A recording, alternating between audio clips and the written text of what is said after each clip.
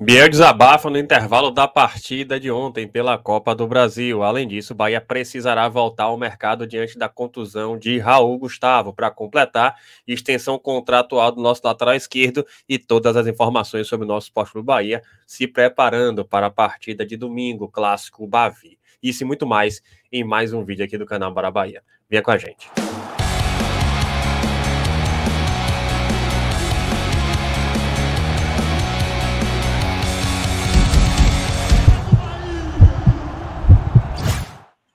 Fala nação tricolor, uma boa noite para vocês que seguem a gente aqui no canal Bara Bahia.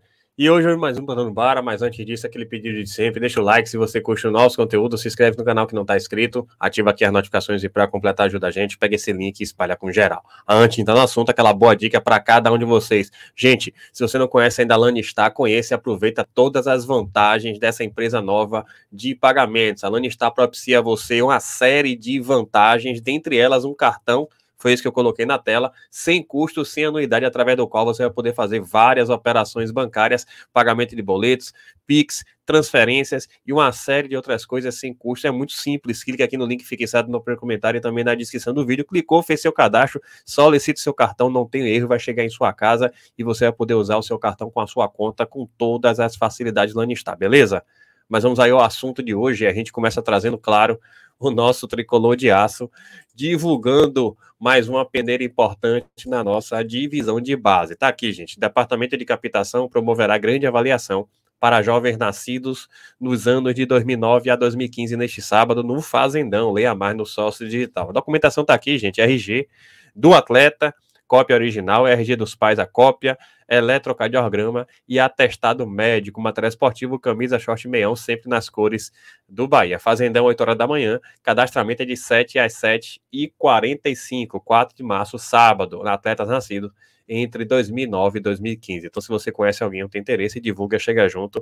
É importante, é numa peneira dessa que você pode mudar a sua vida. Outra informação agora é trazida lá pelo SC Bahia Números, que é a respeito da Copa do Brasil e da premiação aqui, gente. Além da classificação para a segunda fase da Copa do Brasil, o Bahia garantiu ontem mais 1 milhão e 700 reais em premiações. Na soma das duas fases, a competição já rendeu 3,1 milhões de reais aos cofres tricolores, comparativos com os anos anteriores. E está aqui 2023, justamente, já tem com 3.100 o Bahia. Então, a tendência é que, à medida que o Bahia vá avançando, por exemplo, chegando até as oitavas, o Bahia já garante 3 milhões e 300 chegando até as oitavas, e passando da próxima fase, garante mais 2 milhões e 100 mil reais. Enfim, Copa do Brasil é diferenciada também pelo aspecto financeiro, e o Bahia precisa, venhamos e convenhamos, pensar um pouco mais alto e avançar a partir das quartas de final da Copa do Brasil, o que nunca conseguiu. Outra informação, pessoal, agora a respeito do elenco que vem treinando para a partida de domingo, Bavi. Vamos trazer primeiro aqui registros da foto aqui da galera que estava no treinamento. Está aqui nosso goleiro Márcio Felipe com Azevedo. Azevedo, inclusive, está fora do Bavi. Nosso treinador Renato Paiva. Mugni pode ser uma das opções. E André Dominique, que de repente pode ser opção ou pode ser banco para Cecil. E agora, claro, imagens do Bahia treinando, pensando no clássico. Está aqui, ó.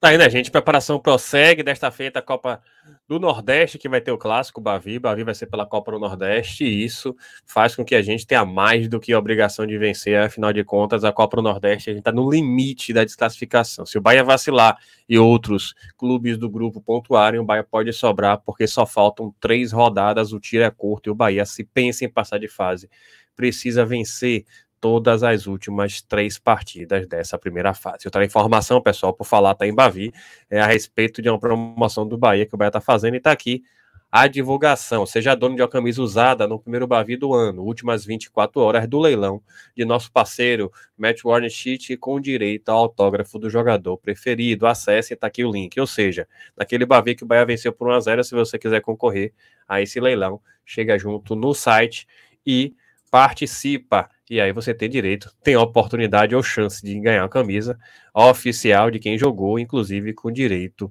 a autógrafo. Tem várias opções, o site ele é simples, enfim, também tem os preços e tem os horários até onde o leilão vai continuar rolando. Outra informação, gente, agora é sobre o Bahia no mercado da bola e vai precisar voltar ao mercado, afinal de contas, perdemos provavelmente o zagueiro Raul Gustavo. Tá aqui, gente, com informação do Bahia Notícias.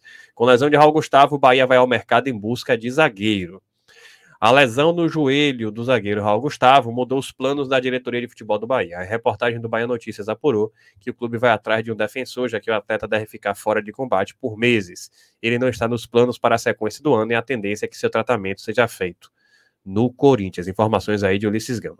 No momento, o técnico Renato Paiva conta com David Duarte, Marcos Vitor, Gabriel Xavier e Canu, que está em fase final de recuperação. No jogo contra o Jacuipense, na última quarta-feira, David era o único no banco de reservas. Ele chegou a entrar no jogo após Xavier sentir um desconforto, no caso David Duarte. A ideia da cúpula é fazer a reposição o mais rápido possível para atender os anseios do técnico Renato Paiva. Vai contratar mais. Com o dia 4 de abril como limite para contratar na primeira janela, o Bahia deve fazer mais contratações. Não há um número definido pelos dirigentes, mas a ideia é suprir as carências demonstradas nos primeiros jogos da temporada.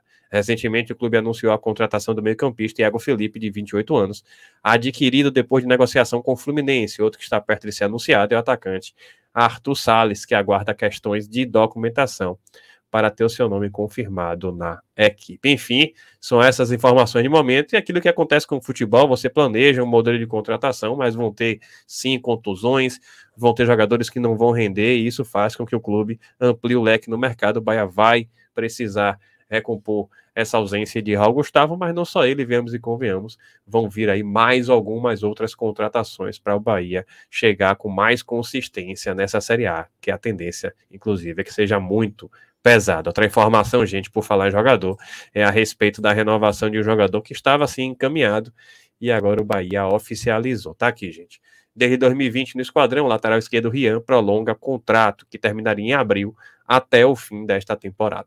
Atleta de 20 anos já disputou 10 jogos pelo profissional em 2023. Contrato renovado tá aí. Confesso a vocês que até surpreende. Se dizia ou se cogitava até uma extensão contratual maior ou um contrato maior, mas optaram nesse momento pela renovação apenas até o fim do ano. De repente, pode ser até no sentido de que renovou, com manutenção aí de condições até o fim do ano, e se ele for bem, aí estende o contrato com melhores condições. Pode ter sido isso, o que acaba de repente sendo interessante para o staff, para o atleta e para o próprio clube. Afinal de contas, vai ficar aí à disposição e, claro, vai depender dele. Ele jogando bem, ele consegue provavelmente um contrato com maior tempo e com melhores condições. Parabéns a Rian e que ele renda e tenha um futuro promissor do nosso Esporte Clube Bahia. Outra informação, pessoal, agora é sobre a entrevista concedida pelo atacante Biel no intervalo da partida pela Copa do Brasil no dia de ontem contra o Jacuipense e ele, de certo modo, desabafou. Vamos trazer aqui, gente, foi o que ele falou,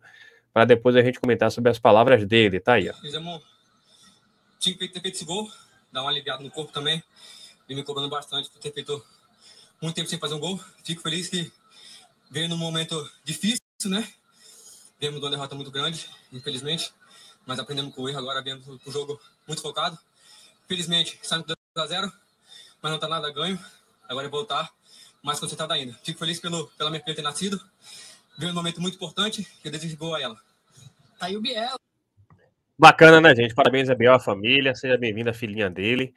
E ele, de certo modo, tá aí, né? Desabafando, aliviado ficou feliz pelo gol, ficou aliviado, falou exatamente com essas palavras, porque já vinha se cobrando, já havia um período sem fazer gol, golaço, por sinal, de Biel, iniciou o placar com a assistência de Jacaré, trocou de perna e foi muito oportunista, num pequeno espaço, soube aproveitar, e uma finalização realmente muito certeira, Parabéns a Bia pelo golaço e de fato está aliviado porque vinha se cobrando, não vinha fazendo gol, mas ainda assim é o artilheiro do Bahia nesta temporada e é importante que ele continue a se cobrar. Afinal de contas, quanto mais ele se cobra, mais ele vai render. Zero acomodação. Biel é um exemplo para que outros atletas sigam o mesmo caminho e busquem sim melhorar rodada a rodada, jogo a jogo. É isso, gente. Espero que vocês tenham gostado. Se gostou, deixa seu like, se inscreva no canal, compartilha com geral. E para completar, não perca essa chance não. Clique aqui no link fixado no primeiro comentário e conheça todas as vantagens da Lanistar. Tamo juntos, saudações colores e até a próxima.